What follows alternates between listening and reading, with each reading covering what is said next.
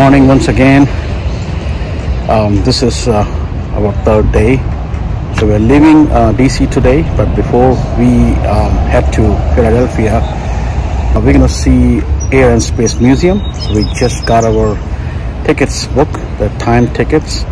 So after uh, we're gonna show you around uh, the Air and Space Museum, and after that we're gonna head towards uh, Philadelphia and give you the another uh, vlog from Philadelphia, from Independence Hall, and from the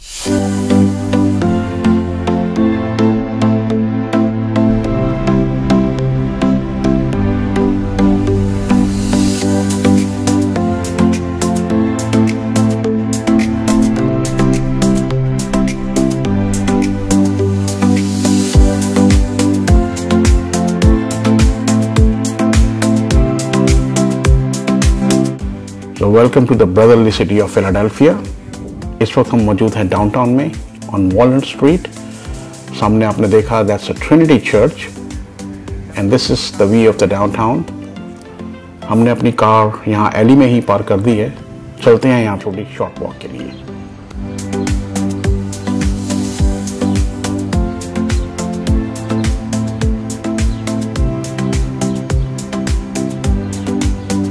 और ये है old town यहीं पर सब कुछ located है। Independence hall Elfreth's alley and अभी जाएँगे हम वहाँ पे घूमते हुए Elfreth's alley and Betsy Ross house too और ये स्ट्रीट्स आप देख सकते हैं, यहाँ पे आपको यूरोप की फीलिंग आती है। All those cobblestone streets, very clean streets this is an old town, but you see the cleanliness of the town is really good. Look at this. तो उस डायरेक्शन में पड़ता है इंडिपेंडेंस हॉल और इस डायरेक्शन में है Elfreth's alley and Betsy Ross house so let's go and walk और ये जो स्ट्रीट आप देख रहे हैं, ये ब्रिटिश कॉलोनियल टाइम से है ये और अर्ली अमेरिकन पीरियड 18वीं सदी की कंस्ट्रक्शन है। इसमें रीडेवलपमेंट होती रही है। लेकिन look at that it's beautiful और थोड़ा सा ही चलने के बाद हमें ये साइन नज़र आ गए एल्फ्रेड सैली और बेट्सी रॉस हाउस सो ये रास्ते में हमें फायरमैन हाउस म्यूज़ियम नज़र आया। चलते हुए एल्फ्रेड एली की तरफ़। Everything is on a walking distance So here we reached at the Alfred's Alley, which is America's oldest street. तो मैं पहुँचा हूँ यहाँ पर इस जगह का नाम है एल्फ्रेड्स एली एल्फ्रेड एली को सम, माना जाता है कि यह अमेरिका की सबसे पुरानी स्ट्रीट्स में से आती है। सो कॉलोनियल टाइम से ये स्ट्रीट बनी है। इसको माना जाता है कि 1703 से इसका बनना स्टार्ट हुआ। तो इस स्ट्रीट में टोटल थर्टी टू होम्स हैं बत्तीस होम्स हैं। जो कि बनाए गए between 1728 all the way to 1836 किसी टाइम क्राफ्ट्समैन और आर्किटेक्ट इस एली को डोमिनेट किया करते थे और 1934 में इस साइट को हिस्टोरिक साइट बनाया गया। तो so, सामने आप देख सकते हैं जो झंडा है वो इंग्लैंड का है यहाँ पर। हालाँकि हमें पता है कि जो जो स्वतंत्रता की जो जंग थी वो इंग्लैंड के खिलाफ थी। लेकिन उसके बावजूद भी अभी तक यहाँ पर इंग्लैंड का झंडा आपको लगा। नज़र आ जाएगा। And you can also see that American flag original American flag जिसमें कि तेरह स्टार्स थे। और अभी भी ये करंट रेजिडेंस हैं, लोग यहाँ पर रहते हैं। This is active alley active street ये कोई म्यूज़ियम नहीं है। म्यूज़ियम का नाम ऐसे ज़रूर दिया गया है। लेकिन you can see the children playing the people sitting outside so they live here तो इन घरों को ऊंचाई में बनाया गया है, लंबाई में नहीं, चौड़ाई में नहीं, क्योंकि उस वक्त जो टैक्स था, वो प्रॉपर्टी की जितनी आप लैंड कवर करोगे, जितनी उसमें विंडोज़ या जितने उसमें डोर होंगे, उस हिसाब से था। तो इस करके उन्होंने जगह को सेव करने के लिए यू नो कंस्ट्रक्शन को थ्री स्टोरी तक रखा है।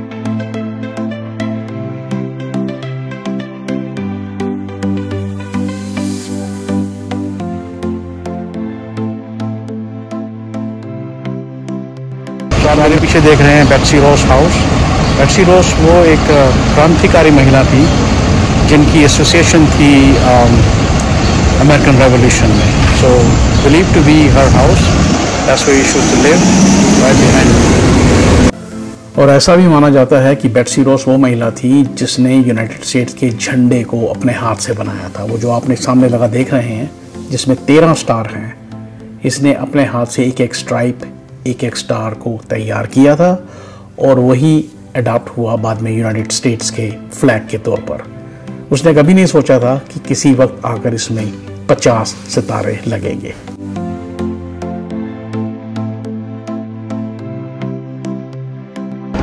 और ये वो जगह है जिसके लिए हम यहाँ पर आए हैं the independence halls and the first US congress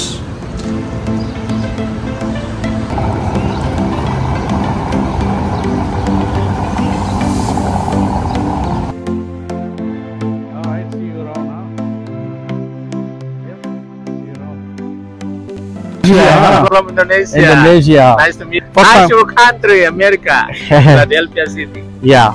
First time in America? Uh, the second Second time. time. Yes. But do you know about yeah, Independence I Hall? like this independent hall. Yeah. But do you know the, Very, very good uh, building. Yeah. But do you know the history about it? You know what happened here? Yeah. Yeah. All right. So guys, um, मेरे पीछे आप देख रहे हैं Philadelphia का independence hall so independence hall यहीं पर सब कुछ स्टार्ट हुआ था भाई। Um, इनकी भी जो फ्रीडम की स्ट्रगल थी ब्रिटिश के अगेंस्ट काफ़ी चली है। हमारी जितनी लंबी नहीं चली लेकिन ऑफ़ कोर्स काफ़ी चली है। तो ब्रिटिश यहाँ पर आए 1607 में। उन्होंने अपना पहला जो टाउन था वो इस्टेब्लिश किया वर्जीनिया में जैसे कि जेम्स टाउन का नाम दिया गया।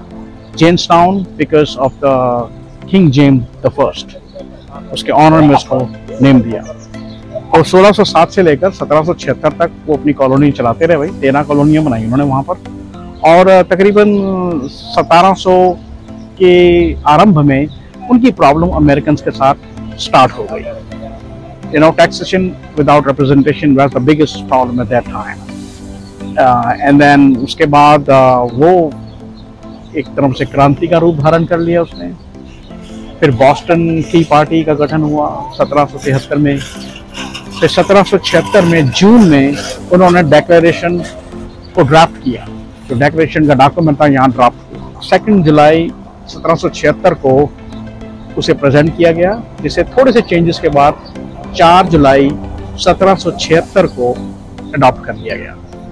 तो उसमें जो ओरिजिनल कॉलोनीज थी, जो ब्रिटिश की कॉलोनीज थी, उन्होंने अपने आप को डिक्लेयर कर दिया independent from the British rule वो यहीं हुआ था इसी इसी बिल्डिंग में। और आज आपको दिखाएँगे इस बिल्डिंग को अंदर से जाकर।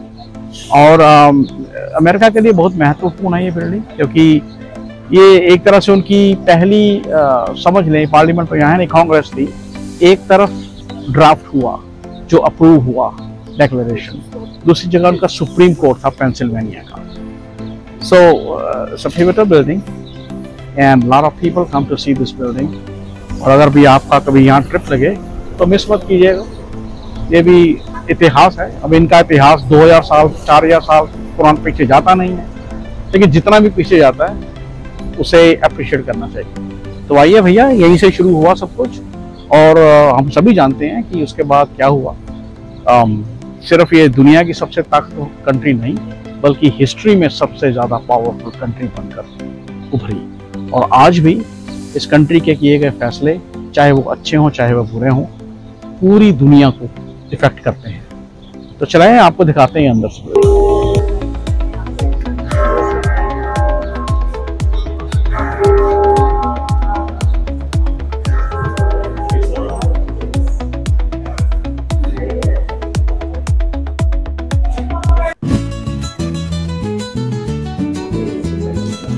That's fair. तो इस वक्त हम बिल्डिंग के अंदर हैं। और जो आप देख रहे हैं, ये है सुप्रीम कोर्ट ऑफ़ पेंसिल्वेनिया, जो कि फेडरल होने से पहले ये सुप्रीम कोर्ट हुआ करता था पेंसिल्वेनिया का 1722 से लेकर। सो ये बिल्डिंग तो 1730 में बनी है 1722 में सुप्रीम कोर्ट कहीं और हुआ करता था, लेकिन उसके बाद ये मूव हुआ। इसमें जो फर्नीचर आप देख रहे हैं सारा ओरिजिनल नहीं है, लेकिन काफ़ी हद तक ओरिजिनलिटी को बरकरार रखा गया है। और इसके बिल्कुल साथ ही बिल्कुल सामने, जहाँ पर डिक्लेरेशन प्रस्तुत किया गया था। सो so, ये देख रहे हैं आप इंडिपेंडेंस हॉल जहाँ पर डिक्लेरेशन को प्रेजेंट किया गया था। उसे रिव्यू किया गया था और उसे एंड में अप्रूव किया गया था। ये है वो जगह जहाँ पर यह देख रहे हैं जितने टेबल्स हैं। तेरह डेलीगेट्स यहाँ पर तेरह स्टेट्स के डेलीगेट्स बैठे और उन्होंने इसको रिव्यू करके अप्रूव किया।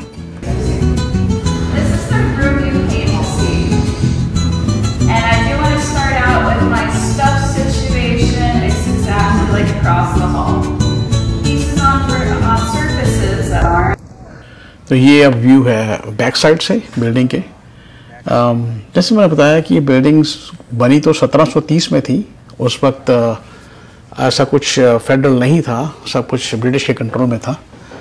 ये सब कुछ चेंज हुआ 1776 के बाद। इसी बिल्डिंग के अंदर से हम आए हैं, जहाँ पे आपने देखे कि इस बिल्डिंग के अंदर से दो पार्ट हैं। एक पार्ट में जहाँ पर जो डिक्लेरेशन साइन हुआ था और दूसरे पार्ट में जो कि सुप्रीम कोर्ट था। तो इस तरफ़ सुप्रीम कोर्ट था जो हमने देखा।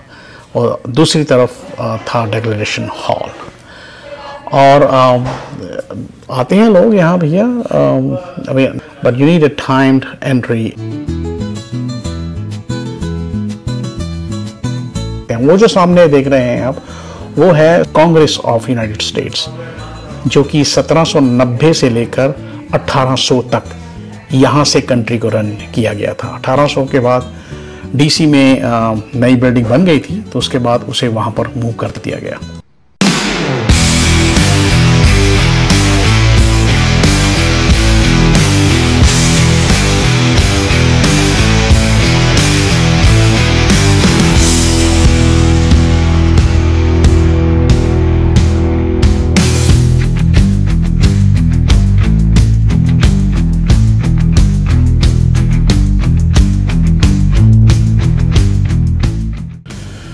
तो अब हम जा रहे हैं लिबर्टी बेल की तरफ़।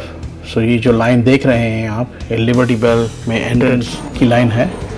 तो एंट्री यहाँ फ्री है लेकिन first come first serve so this no ticket for that so जितना जल्दी आप आएँ उतना बढ़िया। तो ये है जी लिबर्टी बेल इसके पीछे भी एक हिस्ट्री है। ये जो क्रैक आप देख रहे हैं ये क्रैक वैसे आया तो 19वीं सदी के आरंभ में ही था। लेकिन जब इस बैल को कैस्ट किया गया था, लंदन में कैस्ट किया गया था इसको तो पहले टेस्ट में ही इसमें क्रैक आ गया था। फिर इस क्रैक को छुपाया गया, उसको रिकेस्ट किया गया रिपेयर करने की कोशिश की गई, लेकिन ये क्रैक दोबारा अपीयर हो गया तकरीबन तीस पैंतीस साल के बाद। तो ये बैल इस बैल को बजाया जाता था जी। जैसे कोई लेजिस्लेटिव असेंबली होनी है तो कांग्रेसमैन को बुलाने के लिए इस बैल को बजाया जाता था, या अगर कोई पब्लिक अनाउंसमेंट करनी हो तब भी इस बेल को बजाया जाता था। और अ, मेरे राइट साइड में जो आप विंडो देख रहे हैं अगर आपको लाइन से नहीं आना तो आप विंडो में भी आकर इस बेल को देख सकते हैं। यहाँ पे आपको उसका क्रैक नज़र नहीं आएगा लेकिन आप फिर भी लिबर्टी बेल को ठीक तरह से देख सकते हैं। और इसका नाम शुरू से लिबर्टी बेल नहीं था इसको नाम मिला 1830 में जब एबॉलिशनिस्ट मूवमेंट स्टार्ट हुई। एबॉलिशनिस्ट मूवमेंट वो मूवमेंट है जो स्लेवरी के अगेंस्ट खड़ी हुई। और ये बेल सदा से यहाँ मौजूद नहीं थी। ये पहले वहाँ ब्रिक बिल्डिंग में हुआ करती थी। बाद में उन्नीस सौ बावन में मूव किया गया वहाँ से बाहर। सो ग्लास पवेलियन में ला के रखा गया। और इस लोकेशन में ये लिबर्टी बेल 2003 से है।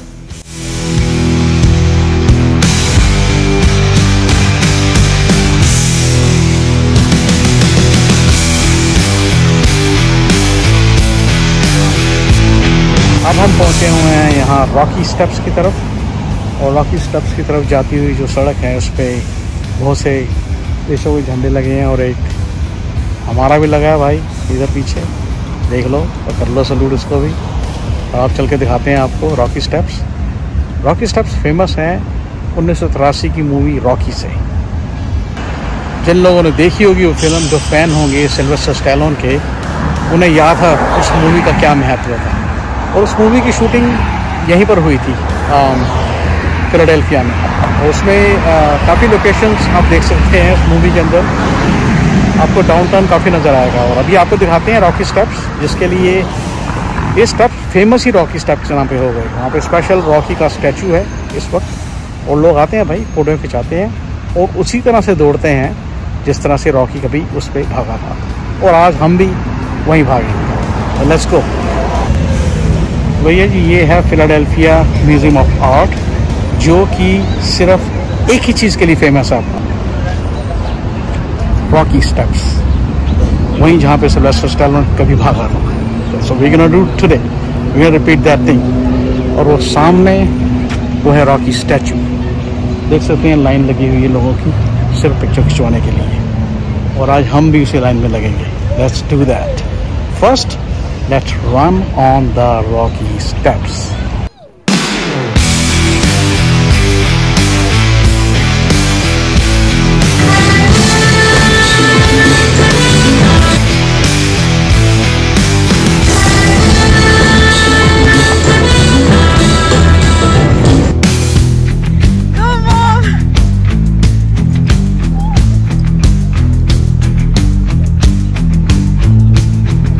All right, all right, we made it up to the top, and now we're run down. Huh? Uh, yeah. Okay, good. Okay, so हमारे राखी steps complete. जब हमने वो मूवी देखी थी तो कभी सोचा नहीं था कि हम भी यहाँ इस तरह इन स्टेप्स पर कभी भागेंगे तो भाई, वो दिन आ गया and we really enjoy it ठीक है भैया जी सो स्टेप्स से तो हो गए डन भाग लिए जितना भागना था हाफ़ ली जितना हाफला था, और हम जा रहे हैं भाई के साथ फ़ोटो खिंचवाने।